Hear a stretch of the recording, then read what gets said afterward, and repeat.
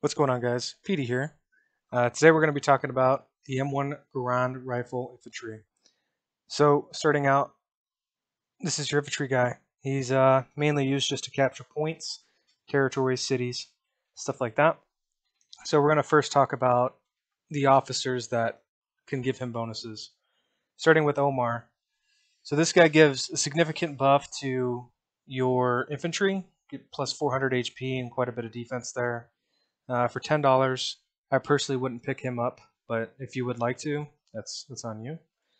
Uh, we also have Dwight David Eisenhower, who's going to be showing up a lot throughout this series. So this guy gives morale plus bonuses of attack if if the member is jubilant.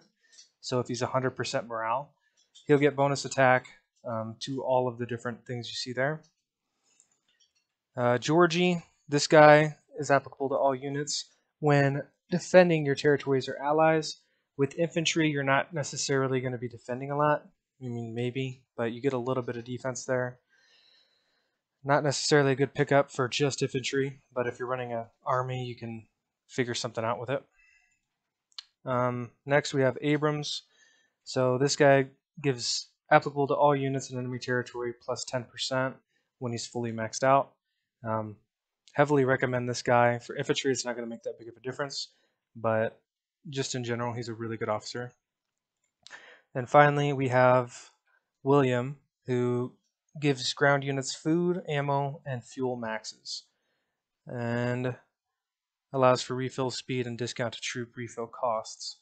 So he's not bad for $10. You guys can pick him up if you'd like to. Um, moving along, we're going to move into the tech tree here. So if a tree is affected on here. It's mainly affected in the cannoneer tab, but it also has a couple bonuses for tanker. Um, the first one right here is a plus 50% speed buff if you get this upgraded all the way. And I believe that's it for tanker. Oh, um, actually right here as well, infantry gains bonus defense versus rocket launchers, artillery, plus 500 defense. Um, that's pretty solid. It's not necessarily the most important thing to have, but it could help.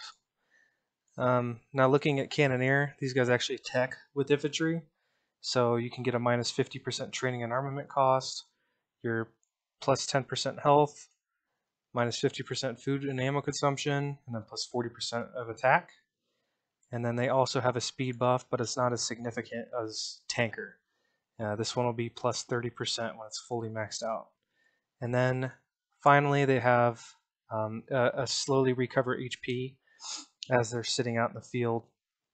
So that's it for infantry, guys. Um, thanks for tuning in. I appreciate it.